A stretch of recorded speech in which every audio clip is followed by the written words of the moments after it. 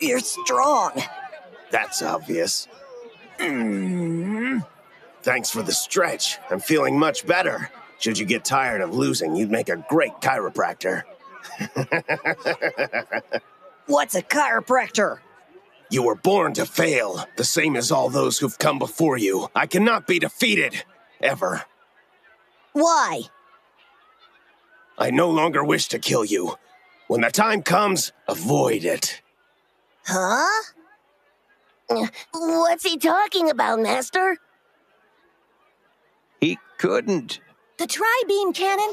Don't, Tien! Don't! It's madness. Uh, No, Tien Shinhan, you must not do this!